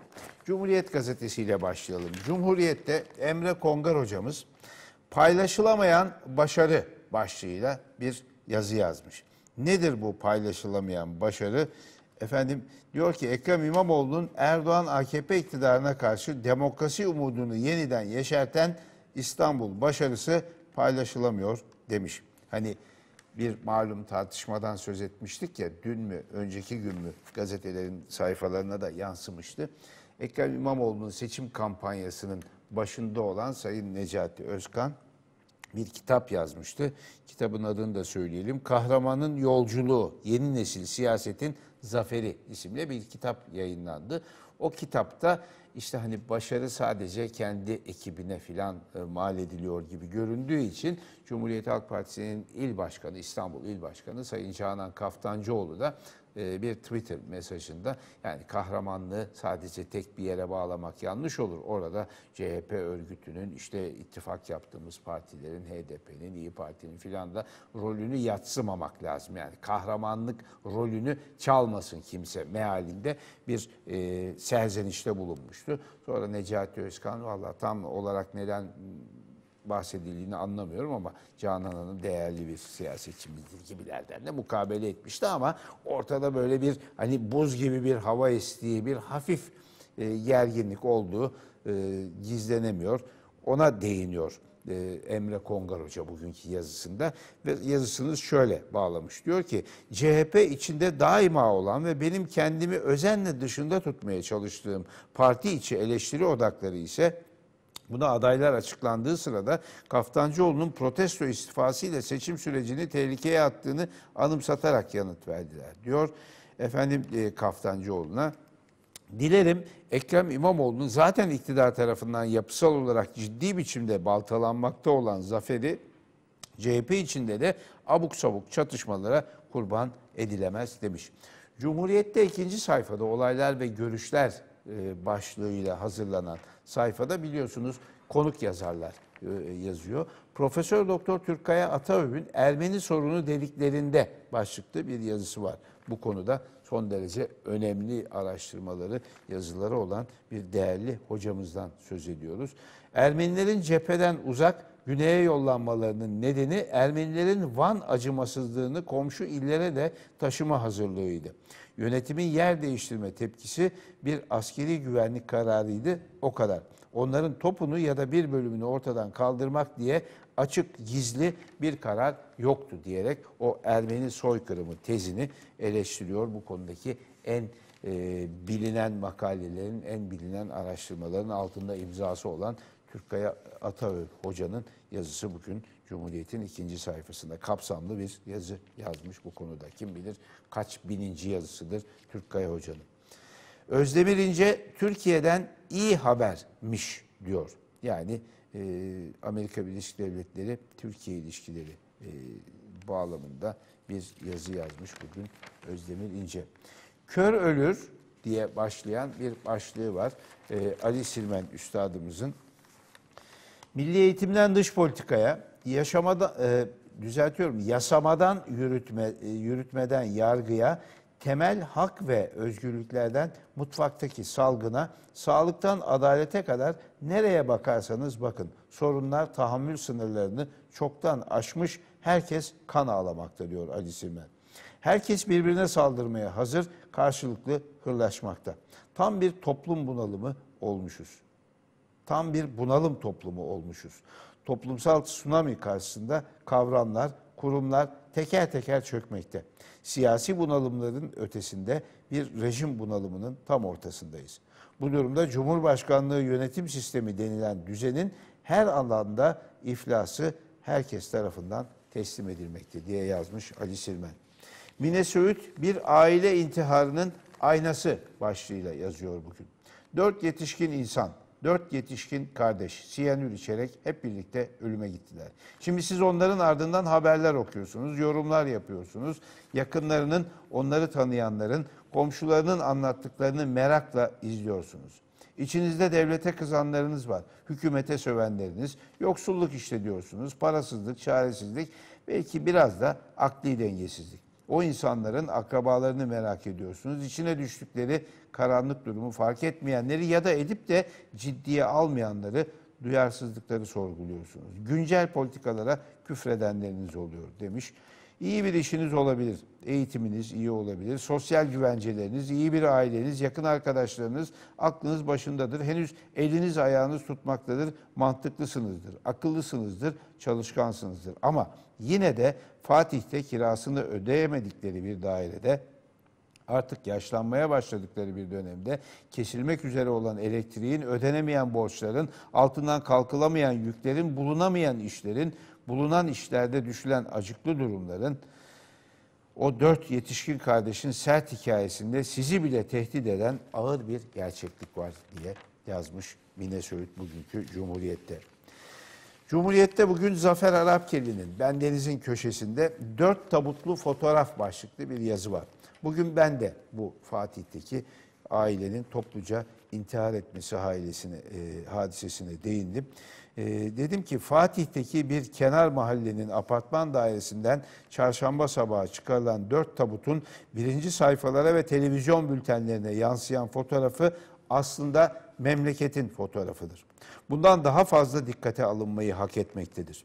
Gelir dağılımı adaletsizliğinden tutun da bozulan ve düzelmesi için hiçbir çaba gösterilmeyen sosyal dokunun, işsizliğin, çığ gibi büyüyen fukaralığın, öldürülen umutların, demokrasiden uzaklaşmanın, hukuk arızalarının, toplumun damarlarına zerk edilen çaresizlik duygusunun fotoğrafıdır. Fevkalade ciddiye alınmalıdır semirtilen, her geçen gün daha da semirtilen müteahhitlerin kirli nafakalarından, kapalı kapı arkalarında peşkeş çekilen milli varlıklardan, miras yedi gibi hovardaca harcanan vatandaş vergilerinden artırılacak yüzde birin bile bu fotoğrafların önünün alınmasına yetebileceği akıldan çıkarılmamalıdır. Bakkal dükkanı yönetiminden daha amatörce ekonomi politikalarının yüzde birlik iyileşmesinin bile bu fotoğrafa biraz olsun olumlu rötuş anlamına geleceği unutulmamalıdır. Biraz vicdan yetmektedir, biraz kaldıysa diye yazdım bugünkü Cumhuriyet'teki köşemde. Lütfeder okursanız mutlu, mesut, bahtiyar olun. Bir Gün Gazetesi'ne geçelim. Bir Gün Gazetesi'nin yazarları bugün neler yazmışlar onlara bakalım. Bir gündeki köşelerinde Yalçın Karatepe ekonomi politikalarını eleştirmek yasaklanacakmış diye o akıllara ziyan haberi tekrarlıyor. Gerçekten de böyle bir yasal düzenleme hazırlığı olduğuna inanmak bile istemiyoruz ama burası Türkiye. Geçtiğimiz aylarda o, o suçtan daha doğrusu hani tırnak içinde suçtan yargı önüne gönderilenler oldu. Efendim dolar düşecekmiş, bilmem çık, şey çık, dolar çıkacakmış, bilmem e, ne düşüyormuş gibi haberleri paylaşanlar piyasaları olumsuz yönde etkilemek filan gibi suçlamalarla e, haklarında iddianame hazırlandı. E, Türkiye'de her şey oluyor. Yokuş aşağı başlığıyla yazmış Sözcü'nün başyazarı Rahmi Turan. Her geçen gün yokuş aşağı biraz daha kayıyoruz diyor. Sadece ekonomide değil hemen her alanda durumumuz böyle. 17 yıldır ülkeyi aynı siyasi parti tek başına yönetiyor. Son dönemde tüm yetkiler tek adama devredildi. O istediği kanunu çıkartıyor, istediği kişiye istediği görevi veriyor ya da görevden alıyor e, diye hatırlatmış yaşadığımız sistemi. Siyanür ve yeşil kart başlığıyla yazıyor Necati Doğru ustamız. Bu benim başıma gelmemeliydi. Biz bu duruma düşmemeliydik diye kurar kurar iyi düşünme hissini bütünüyle yitirir. Acı duyar, kaçmak ister, kaçıp kurtulmak, gizlice, habersizce kaçar, ölümü seçer diye yazmış Necati Doğru. İstanbul'un orta yeri en eski mahallesi Fatih'te aynı aileden dört kişi birlikte siyanürü meyve suyuna karıştırıp içtiler ve sessizce, gizlice, habersizce ölümü seçtiler. Kardeştiler. 60 yaşındaydı biri. Diğeri 56 yaşında. En küçük 48'indeydi. 54 yaşındaydı kız kardeşleri Oya ve siyanürlü meyve suyunu o hazırlamış. Önce kardeşlerine içirmiş ve en son kendisi yudumlamıştı. Son sözleri neydi? Ne dediler birbirlerine? Sarılarak mı veda ettiler? Apartman dairesinin giriş kapısında dikkat siyanür var, polis çağırın diyen yazıyı hangisi astı? Ne önemi var bu soruların diyor Necati Doğru. Siyanür acı badem kokusundadır. Meyve suyuna karıştırılıp içilince yıldırım hızıyla kanın dokulara oksijen taşıyan sistemini durdurur diye anlatmış ve yakınlarının ifadelerine de e, ifadelerine de yer vermiş. Uğur Dündar e, köşesinde bugün iki kitaba değiniyor. Bir tanesi Haluk Şahin ustamızın The Hate Trap, Nefret Tuzağı isimli kitabı. E, bir de İlker Başbuğ'un eski Genelkurmay Başkanlarından İlker Başbuğ'un Ermeni Suçlamaları ve Gerçekler isimli kitabı. O kitaplardan alıntılar yapmış bugünkü köşesinde. Murat Muratoğlu beton aşkları bir türlü bitmedi diye yazıyor. Sultan Uçar da e, eğitim e, editörü e, Sözcü'nün. O da Seccadeyi Ser Fakülte basılacak başlığıyla bir yazı yazmış. Çiğdem Toker şehir hastaneleri çıkmazını yazmış. Kim bilir kaçıncı kez bu konudaki bilinmeyenleri bilgimize sunuyor. Dövizli ihaleye farklı boyut diye de bir yazısı var Çiğdem Toker'in. Erdoğan kimi kandırıyor diye bir soru sormuş Soner Yalçın bugünkü köşe yazısında. Saygı Öztürk izin verdiği için başbuğu affetmiyorum şeklinde bir söze yer veriyor ve Yılmaz Özdil de Sözcü Gazetesi'nin bir başka yazarı AKP dünyanın en çok türbanlı tutuklayan hükümeti oldu diyor. Hani o benim türbanlı bacıma saldırdılar diye bir dönem türbanlı bacıları direnişin daha doğrusu mağduriyetin simgesi olarak sunan Adalet ve Kalkınma Partisi'nin iktidara gelince o eski tırnak içinden mağduriyet dönemlerinden daha fazla türbanlı bacıyı tutukladığını da hatırlatıyor Yılmaz Özdil. Saatlerimiz tam 9.30'u gösteriyor. Seyri sabahı Yön Radyo, KRT Televizyonu ortak yayınında dinliyor ve izliyorsunuz. Şimdi kısa bir ara, aradan sonra diğer köşe yazarlarıyla devam edeceğiz. Bizden ayrılmayın.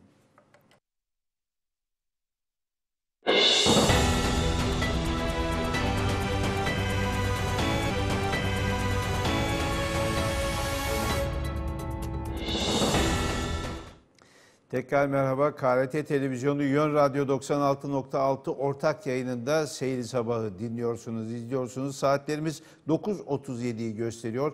Köşe yazarlarıyla devam edeceğiz. Evrensel Gazetesi'nde dış haberler sayfasında Hediye Levent çok önemli bir konuya dikkat çekmiş. Bir ipte iki cambaz olur mu? Neden olmasın sorusunu soruyor. Suriye'yi ve Amerika ile Rusya'yı kastediyor iki cambazdan. Şöyle diyor Hediye Levent. Diyor ki Suriye'deki sıcak gelişmelerin gölgesinde kalan ancak bir süredir Arap basınında da zaman zaman dile getirilen gelişmeler söz konusu olabilir mi? Mesela Suriye sahasının ve tabii ki bölgenin iki büyük aktörü Amerika ve Rusya'nın ezber bozacak cinsten yakınlaşmaları mümkün mü? ABD köklü ittifakları askeri varlığı ve dış politikasını şekillendiren çıkarları ile uzun süredir bölgede.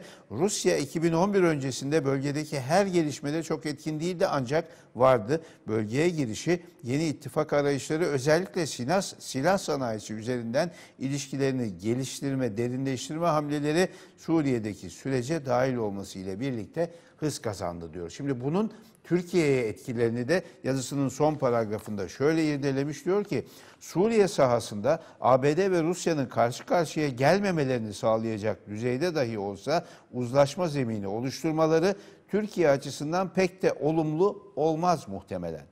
Bugüne kadar iki ülke arasındaki çekişmeleri fırsata çevirerek kendine alan açan Türkiye'nin bu politikasını ne kadar sürdürebileceği mevcut şartlara göre bile tartışmalı. Yine Türk Silahlı Kuvvetleri ile birlikte hareket eden ÖSO, Türkiye'nin garantörlerinden biri olduğu İdlib'deki cihatçıların kullanım sürelerinin dolmuş olması, güvenlik gerekçeleriyle dile getirilen ancak toprak genişletme şüpheleri doğuran hamlelerle birlikte Türkiye'nin Suriye politikasının acilen revize edilmesi zorunluluğu iyice belirginleşiyor demiş. Yazının tamamını okursanız son derece ciddi ve ileriye dönük bazı endişe duymamız gereken noktaları irdelemiş Hediye Levent bugünkü Evrensel'deki yazısında okunmalı diyeceğim yazılardan biridir bu. Hürriyet gazetesi. Hürriyet'te Hürriyet'in gene, yeni genel yayın yönetmeni Ahmet Hakan tahminimizin aksine düzenli yazılarını da sürdürüyor. Yani Hürriyet'i Hürriyet'i yönetmek, genel yayın yönetmenliği yapmak o kadar da abartılacak bir şey değil diyor. Ben yazımı da yazarım diyor, köşemi de yazarım diyor. Daha önceki yayın yönetmenlerden farklı olarak bu işi de yaparım diyor. Dörtlü intihar olayında bile karpuz gibi bölünü verdik diyor. Toplumda farklı farklı değerlendirmeler yapıldığına değinmiş. Ali Babacan'ın yükselişi, düşüşü ve buhar oluşu diye bir e, değerlendirme yapmış. Efendim Ekrem İmamoğlu'nun hani yeni bir kitap çıktı ya kahramanın e, yükselişi gibi. Efendim daha önce de Beylikdüzü Belediye Başkanlığı sıra e, döneminde bir kitap yazılmıştı. Benim sevgili başkanım Ekrem İmamoğlu diye o kitabı da hatırlatıyor. Diyor ki e, Ahmet Hakan buradan anlıyoruz ki her başarısının kitabını yazdırmaya meraklı Ekrem Başkan. Kendisi kitap yazdırıyor diyor başarılı oldum diye. Bakalım ileride başka kitaplar yazdırma şansı elde edecek mi? Yoksa kitap yazdırma merakı iki kitapla mı sınırlı kalacak? Ölmez sağ kalırsak yaşayıp göreceğiz demiş. Yani böyle bir hafiften çemkirmiş yani. Böyle, ne oldu seçim kazandın hemen kitap mı yazdırmak lazım demeye getiriyor. Ve bugünkü köşesinin sonunda da Ahmet Hakan hangi şarkı kime gitsin diye bir paragraf açmış değişik insanlara şarkılar ithaf ediyor. Mesela diyor ki Bülent Arınç'a Ahmet Kaya'dan Başım Belada şarkısını gönderiyorum diyor. Ekrem İmamoğlu'na bir kahramanlık türküsü olarak yine de şahlanıyor aman şarkısını, türküsünü gönderiyor. Canan Kaftancıoğlu'na Latif Doğan'dan Küstüm şarkısını göndermiş. Melih Gökçek'e de Sezen Aksu'dan Unutuldum, Unutuldum, Kurutulmuş Güller gibi şarkısını göndermiş Ahmet Hakan. Hadi şu cuma günü yüz suyu hürmetine biz de buradan Ahmet Hakan'a bir şarkı gönderelim.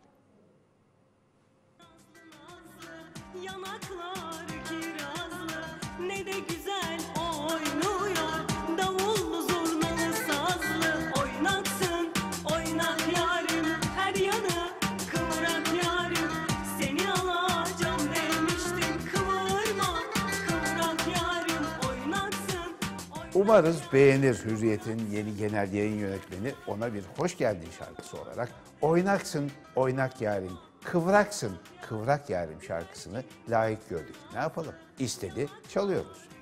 Efendim Milliyet Gazetesi'nde neler var? Milliyet Gazetesi'nde kim neler yazmış bugün? Ahmet Hakan sayesinde bu yayınlar büyük bir neşe ve büyük bir e, coşku içinde, huşu içinde geçiyor. Allah seni başımızdan eksik etmesin. 9-8 Ahmet demek istiyorum. Nihat Ali Özcan, Bağdadi ve istihbarat tartışmaları meselesine değinmiş. Güneri Civoğlu tembel kramponlar başlığıyla yazmış. İşte bu Galatasaray'ın Real Madrid karşısındaki 6-0'lık hezimeti üzerinden bir Galatasaraylı olarak Güner, Güneri Civoğlu abimiz de Galatasaray taraftarıdır.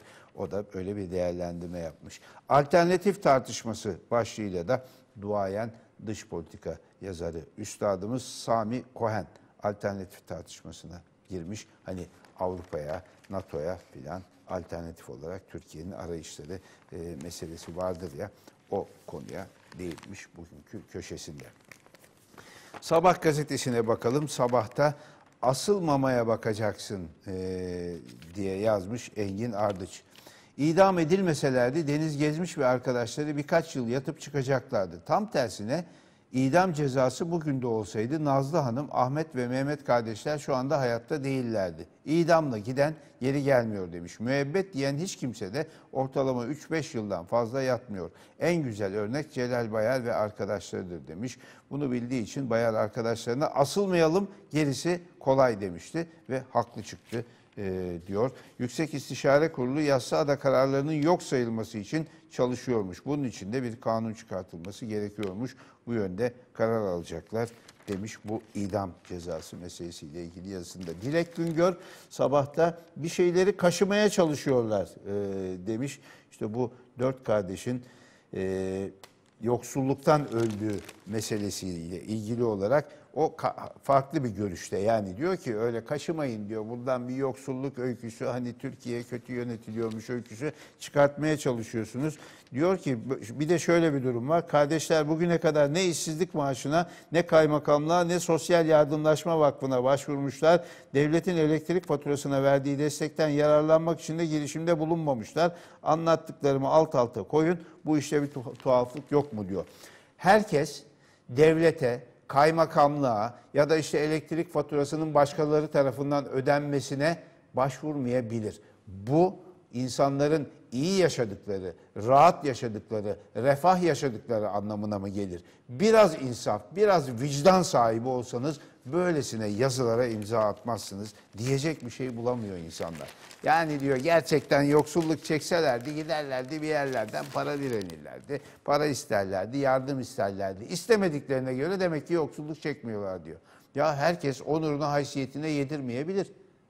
Gidip kaymakamlığa biz yoksuluz devlet bize yardım etsin demeyi kendisine yedirmeyebilir. Böyle bir olasılık yok mu sizin dünyalarınızda diye sormak istiyorum bu hanımefendiye. Ama tabii yani bunlara böyle soruları, zor soruları sormayacaksın. Sordun mu hemen e, küfür etmeye başlarlar, hakaret etmeye başlarlar. Başka bir tepki bilmiyorlar. Doğru soruyu sorduğun zaman, doğru fikri savunduğun zaman şerefsiz, haysiyetsiz, alçak, hain, FETÖ'cü, terörist bilen başka hiçbir şey bilmiyorlar. Hiçbir şey bilmiyorlar. Başıma çok geldiği için biliyorum. Ne zaman doğruyu yazsak küfürün bini bir para, tehdidin bini bir para. Özel mesaj kutumdan bir haftadır ölüm tehdidini, linç etme tehdidini, dayak tehditlerini silmekten yoruldum. Gerçekten yoruldum. Şu mouse tıklayan parmağım sil düğmesine ya da blokla düğmesine basmaktan yoruldum. O kadar söyleyeyim. Evren Hoca Hanım gitti. Tefrika roman 16 diye Barbaros, e, Fatma Barbarosoğlu yazmış. Tamer Korkmaz Vay be başlığıyla yazmış. Bülent Arınç'ın açıklamalarından söz ettiği bir yazısında. Star gazetesinin yazarlarına geçelim. Efendim Ahmet Kekeç, Ilıcak pişman, Altanlar'da pişmanlığın zerresi yok başlığıyla yazmış. O da e, bu FETÖ'nün siyah, e, düzeltiyorum medya ayağı olmakla suçlanan e, yazarların serbest bırakılmaları ile ilgili bir değerlendirme yapmış. Bakalım Star'dan başka yazar, e, bir iki yazar daha okuyalım. Süremizin de sonuna geldiğimizi uyarıyor sevgili Ozan. Yalçın Akdoğan, stratejik müttefikimiz Trump'la görüşmenin önemini yazmış bugün. Ve Nuh Albayrak da Amerika gezisi Barış Pınarı Harekatı'nın devamıdır diye bir yazı kaleme almış. Bugünlük de bu kadar yazımız olsun. Seyri Sabah'tan Cuma gününün programından bu kadar. Akşam Z raporuna bekleriz 19.30'da. Seyir sabahı da pazartesi sabahı saat 8'de tekrardan burada bekliyoruz. Bugün kapanış parçamız bir Azerbaycan mahnısı. Onlar mahnı diyorlar Azerbaycan dilindeki şarkılara. Beste Sayit Rüstemov'a ait İdris Mehdiyev söylüyor. Alagöz, benim olan Alagöz düşer ise kalan